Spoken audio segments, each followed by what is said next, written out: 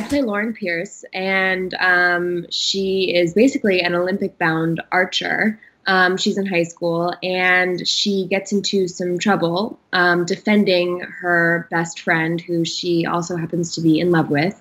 Um, and because of her actions, she gets sent to a juvenile detention camp.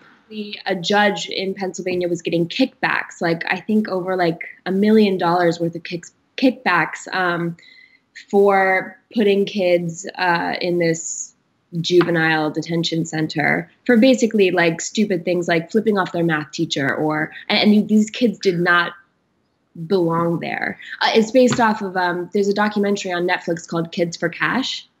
Um, so we're loosely based off of that. Um, and yeah, it's just crazy. You just see it's it's heartbreaking to see the lives that these kids leave live after this and and how it just like totally destroys their life and their future.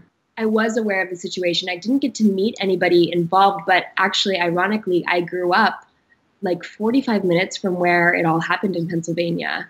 Um, and and that was a big thing that we took into account when we were filming. We wanted to shed a light on that um, incident. No, no, I didn't. But uh, that was part of the fun challenge in taking on this role. I got to train with uh, Matt Burling, who coached at Pasadena Roving Archers, and he's an Olympic level three coach. Um, yeah, so I worked with him like twice a week um, for a couple months leading up into the film. And that was so fun.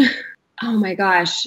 Overall, it was just an incredible experience. What I loved so much about working on this film was really getting to like stretch out my muscles of like physicality and emotionality um, and bringing them together because it was a challenge. And having the stamina to like run through the woods for 15 days in a row and like you know emotionally torture yourself like that it was it was a good challenge but that's what i loved so much about it and getting to work with oh my gosh jeanine and michael and valerie our fearless leader. She was awesome yeah oh gosh, a top memory. There's so many. Um, first of all, the cast and the crew were so incredible. I felt really, really welcome immediately. I mean, I I started with them in season six, and I got two great seasons with them. But they had been together; they were a family for six years before I joined them.